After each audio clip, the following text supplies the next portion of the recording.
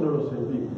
Es verdad lo que usted dice porque uno puede ver sus redes sociales y, aparecen situaciones, pero no, ha afectado al grupo, el grupo no ha dejado de trabajar, no ha tenido ningún inconveniente, han sido todos positivos. Eh, acá tenemos 20 personas que trabajan, más el cuerpo técnico, más eh, todo el grupo de jugadores.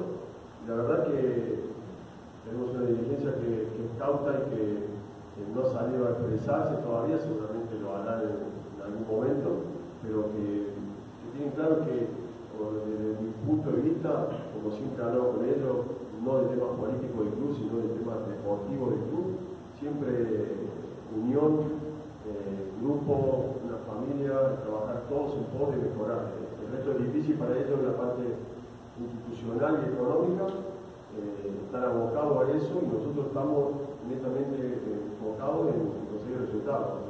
Barcelona necesita siempre resultados y nuestros resultados los pueden ayudar a ellos a trabajar más cómodos y a tratar de empezar a solucionar todos los problemas que no fueron generados por esta dirigencia, sino que a lo mejor vienen de muchísimos años, atrás, sin, no tengo idea o la certeza de saber quiénes fueron o cuándo empezaron los problemas, pero realmente por lo que uno lee o ha visto en todos estos tiempos desde afuera, eh, hay deudas de, dos o tres periodos anteriores a esto.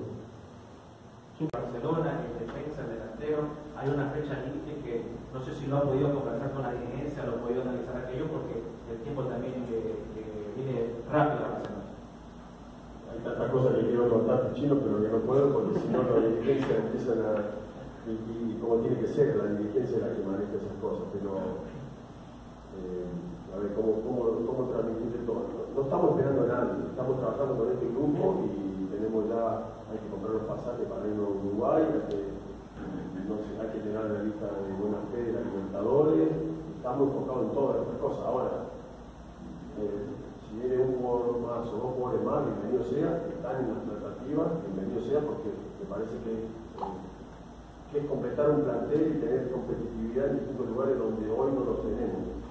Eh, no lo tenemos porque tenemos gente con mucha proyección, pero que todavía son jóvenes y, hay que tratar de, estar preparado porque Barcelona no te da tiempo a madurar. O sea, no podemos asegurar que un jugador de, de 18, 19 años mejor sí, porque ha pasado y me ha pasado con García, por ejemplo, desde el momento que lo puse nunca más lo saqué y hoy está jugando el México su tercera temporada consecutiva.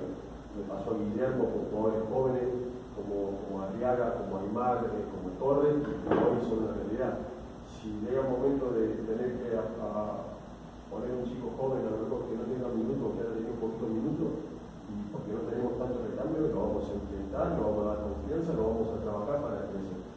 Ojalá que, pero sí necesitamos tener un, equipo más eh, normal, sin tener tanto, sin que nos sobre, por eso es importante que algunos se vayan a préstamo para que tengan minutos, para que sean, vuelvan a ser un activo importante de la institución, porque si no juegan en Barcelona, porque hay mucha, mucha competencia, bajan su valor, van a jugar otra institución y andan muy bien, su valor sube de eso se trata más o menos, de un equipo equilibrado, porque dentro de esa charla estamos cerca de, algo que nos va a ayudar. Cuando vengan, se sumarán, les puedo dar una puntita, no vienen parados, para que tengan una idea de eso se trata. Entonces, eh, no, es que vamos, vamos a venir, tampoco que van a venir a jugar inmediatamente. Hoy tengo una base, esos jugadores que están ahora entrenando, que están esforzándose, que hace desde el 26 de diciembre están trabajando, otros llegaron al 27, otros ingresaron. Toda esa base de jugadores que, no ha afrontado, que está en un buen ánimo, que se entrega, obviamente tiene la prioridad ante uno que llegue mañana, dentro de dos días, dentro de cinco días. ¿no? Vamos a pregunta. tiene jugadores con capacidad, se puede adaptar mucho, más fácil, mucho más rápido. Es más difícil eh, formar un plantel eh, con jugadores a lo mejor que, no, no, tienen el mismo nivel futbolístico. Acá se están adaptando rápido, eh, las pautas que nosotros le damos, los tácticos, las tienen claras, lo han entrenado por otros entrenadores, porque han tenido muy buenos entrenadores acá o en otro equipo donde han estado, y entonces eso nos facilita y nos ayuda a nosotros. Después de los momentos los jugadores, ustedes saben que no son siempre los mismos, hay veces hay algunos que se sienten mejor porque están más descansados o más enteros físicamente, hay otros que les gusta más por, el, por, el, por la época del año que estamos.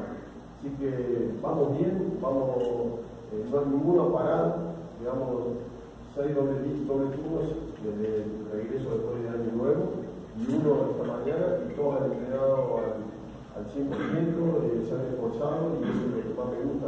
Y me ha sorprendido, porque uno piensa que cuando tiene muchos jugadores de capacidad importante, de jerarquía, eh, son más eh, reacios a trabajar, y en este caso, para nada, toda la gente que, que tenga el poder de entrenamiento no han visto jugadores trabajando diferenciados, han visto jugadores trabajando a la par de nosotros.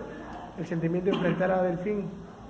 Lindo, lindo. Eh, bueno, anoche me, preguntaban una, una entrevista y, y, me ponían unas palabras y yo tenía que decir una sola palabra y cuando me tocó decir creo que dije éxito, porque realmente considero que ha sido mi mejor momento eh, en, en, mi carrera deportiva eh, y entonces siempre voy a estar agradecido y voy a tener ese, ese afecto por ello. ¿no? Muy bien, muchas gracias.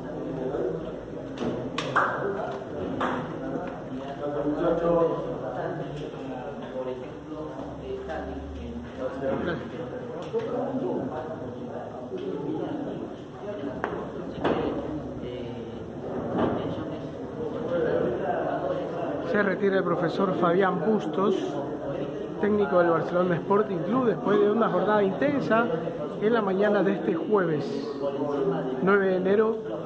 La noche amarilla será con el Delfín.